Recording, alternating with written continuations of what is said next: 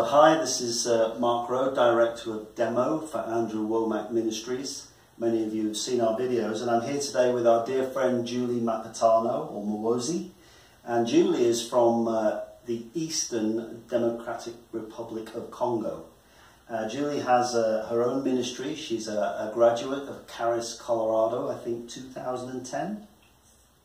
And Julie does a variety of things, but she is the founder of Redeeming Love Ministry in Congo, actually based in her home village of Ludwinja. Is that correct? That's correct. And I believe that's like a couple of hours south of Bukavu That's in eastern Congo. I haven't had the pleasure of going there yet. We tried to get in there uh, some years ago. How long ago was it? That's what 2016. 2016, we had uh, visas or applications put in, and for whatever reason, we couldn't get into Congo with my dear friend Steve Bartlett. But uh, at that time, our students uh, graduating in the second year wanted to buy a uh, audio video pack. That's what this is here, sat here. This is a complete audio video presentation system. This is the um, uh, EX500. What that means is it's the Vista 500. It means that it's capable of, of showing HD video and sound to up to 500 plus people. Wow. And everything is in here. Um, it's solar powered, the complete pack. So this is the pack. Uh, this is the frame for the screen, which is a 92 inch HD screen, and this is the actual screen material itself. But everything else is in here. And today, uh, what we want to do is, is present this pack, this audio video system to Julie um, for work in her village and in her area. She, she does a phenomenal job. I mean, can you just tell me a little bit about what you're doing through Redeeming Love in Ludwinja? Um, we helping the uh, orphans Right? to be able to go to school, Uh-huh. and also we come in uniting families like the widows and the orphan and street kids back to family. Wow. And so having this, like, I feel like I'm on Christmas morning, just jumping from up downstairs, and your father or mother have made a huge surprise gift for you. This is really how I feel like in my heart. I'm so super grateful. I'll be going to Congo, and I can't wait. And when are you going to Congo? next week? Next week. Yes, And you're going back to the village, to Ludwinja? yes. Now, this is going to help with the discipleship program because loaded onto this system, we have the Jesus movie and we have it in three languages. So we have it in French, Congolese French, Swahili, and English. And there are other things like the Jesus movie for children and Bible applications. So this is a real blessing. We've used this in uh, around the world. You see, before we can disciple people with our discipleship program, which we also have in those three languages, we need to get people saved, Yes. don't we? Yes. We've got to preach the gospel. This is a great tool. Somebody can jump on the back of a motorbike or even walk through the bush, through the rainforest, whatever, because uh, DRC and where Julie comes from is, is equatorial, it's right on the equator. But they can go with this anywhere. And there's a big solar panel in the back of here which you can hang in a tree and charge up the battery. I'll just open this up. But this was from the class of 2016 here at Charis. They clubbed together and they bought this. So here you have everything. You have your projector, your big battery that powers everything, your microphone and cables. Uh, you've got your little sound mixer down here. This is your sound cone, which basically your speaker hangs in the tree. In here you've got all the cables and connectors that you could possibly want. And in here are the instructions and a little LED light uh, because it's really difficult when you're working in the dark in the bush, believe me, I've done it.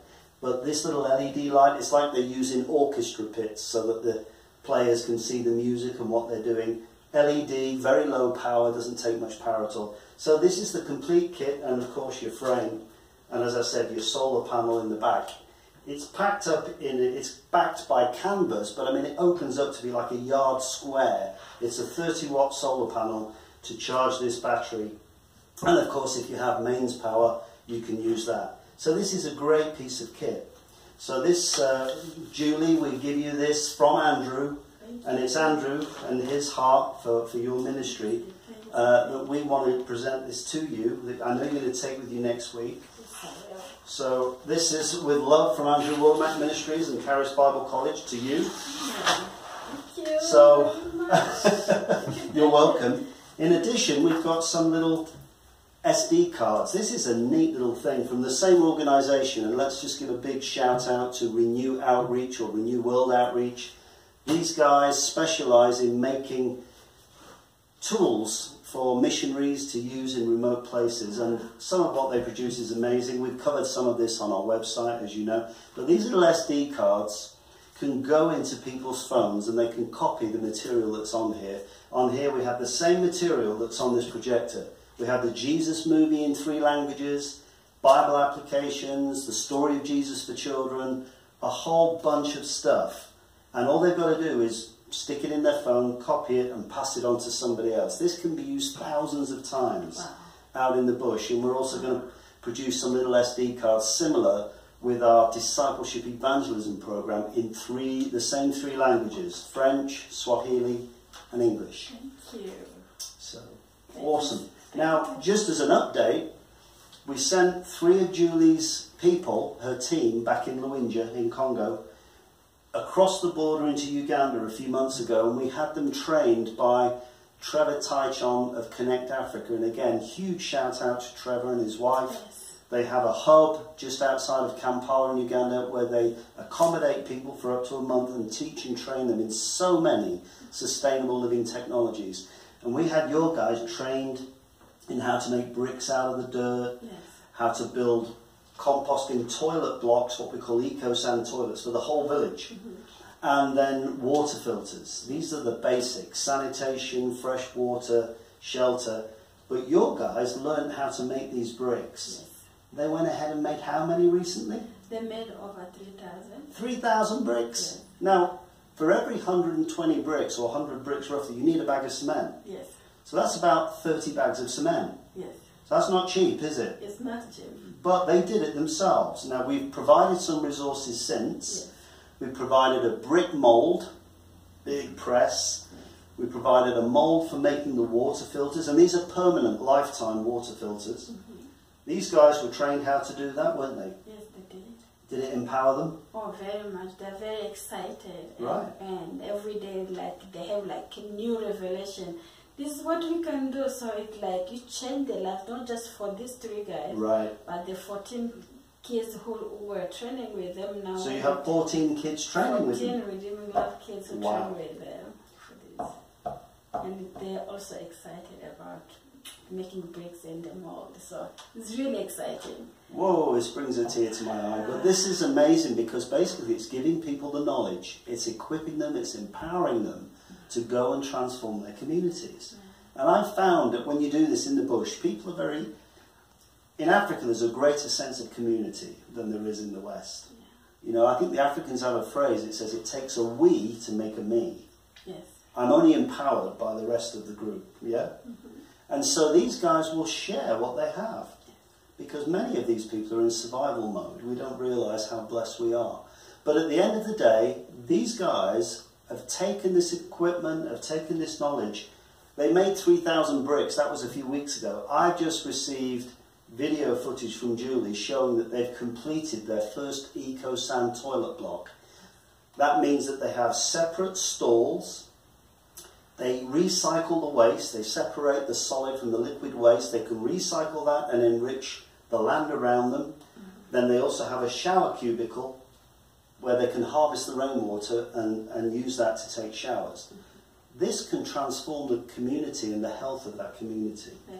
But these guys have just been so empowered, they're flying with it. I'm just, and you should see the quality of what they've built using these big interlocking bricks. This is how we build a community and transform it. Is that right? Yes, I- just want to say thank you, thank you million time to Mr. Mike and he's hard working. Sometimes we don't see him out there when we go to Bible College because he's just behind scene. But he he has done amazing things for me and for the people in the Congo. And of course, I can't just forget to say thank you so much, Mr. Andrew, Amen. for the vision and for the love you have for many of us because all this was not possible if you were not there. So That's right. And you know, at the beginning of this year, I got a phone call from Andrew saying, "Please help Julie," uh, and that was basically the simple instruction: uh, help Julie uh, to achieve this community centre that she wants to build for the whole village. How many orphans do you look after? now we just added in, we're going to have two, 350 350 and 180 households. And 180 households and widows that you encourage and help. It's awesome. So Andrew's heart was like, help Julie. And so it was kind of down to us as to how we do that. But we thought first we must empower people and give them the knowledge. Uh, rather than giving people a handout, let's give them a hand up. Andrew has very kindly put some resources into this. Now they've had the training and they are flying. This is transforming the community. So thank you to Andrew. Thank you to the partners without whom this is not possible. But thank the Lord for their generosity and the fact that we're able to see transformation on the ground. And I'm sure when Julie comes back, she'll have lots of exciting things to report. So, so. bless you, Julie. Thank you. Have a great trip. Thank you. All right.